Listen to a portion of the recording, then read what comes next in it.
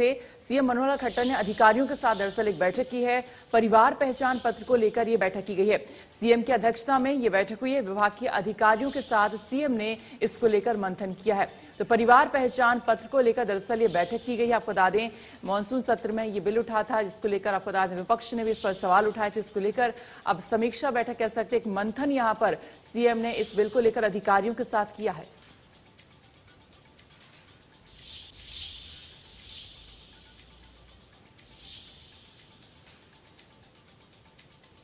परिवार पहचान पत्र को लेकर आपको बता दें, सीएम ने अधिकारियों के साथ बैठक की है। इसको लेकर कह सकते मंथन लगातार चल रहा है। सीएम अध्यक्षता में बैठक यहाँ पर हो रही है। मानसून सत्र में भी मुद्दा उठाता आपको बता दें और विपक्ष ने भी इस पर सवाल उठाए थे।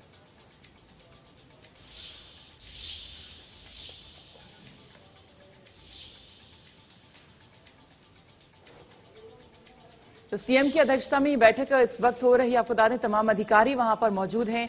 परिवार पहचान पत्र को लेकर ये बैठक इस वक्त चल रही है और आपको बता दें, इसमें परिवार पहचान पत्र को लेकर मंथन किया जा रहा है। बैठक में इस दौरान कह सकते हैं, विचार विमर्श यहाँ पर किया जा रहा है। मानसून सत्र में भी आपको बता दें, सदन में ये बिल उठा था आई मीन ये मुद्दा उठा था और इसको लेकर बातचीत हुई थी। वहीं विपक्ष ने भी इसको लेकर कई सारे सवाल भी खड़े किए थे और आज इसी को लेकर मंथन हो रहा है। परिवार पहचान पत्र इस बिल को लेकर और तमाम अधिकारी आप देख सकते हैं, यहाँ पर मौजूद हैं। सीएम इसकी खुद अध्यक्षता कर रहे हैं इस बैठक की।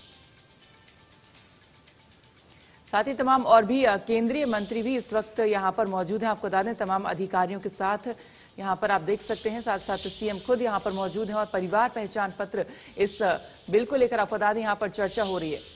सुभाष बराला आपको बता दें, पूर्व प्रदेश अध्यक्ष भी इस वक्त मौजूद हैं। इस बैठक में आप देख सकते हैं।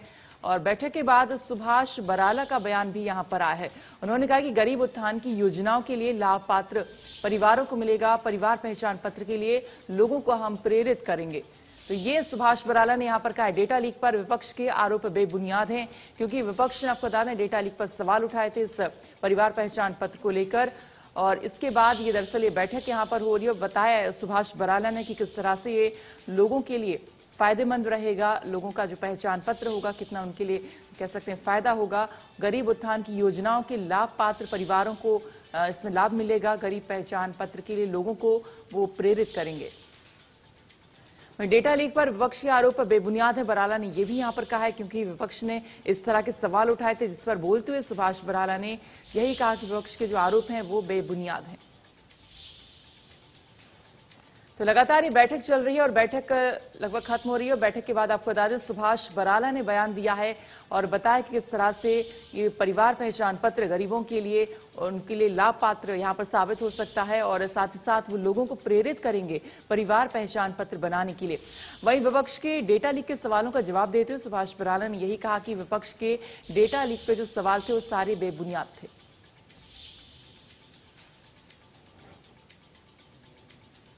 सीएम की अध्यक्षता में दरअसल बैठक हुई। आपको बता दें, जहाँ पर परिवार पहचान पत्र को लेकर मंथन चल रहा है। मानसून सत्र में आपको बता दें, सदन में ये मुद्दा भी उठा था। इस बिल को लेकर तब चर्चा भी हुई थी और अभी आपको बता दें, तमाम अधिकारियों के साथ और और साथ ही सुभाष बराला यहाँ पर मौजूद रहे। बैठक में आप देख सकते हैं, यहाँ पर इसी को लेकर मंथन चल रहा है इस बिल को लेकर। और किस तरह से लोगों को फ़ायदा होगा, सुभाष बराला ने बैठक के बाद ही बयान भी दिया।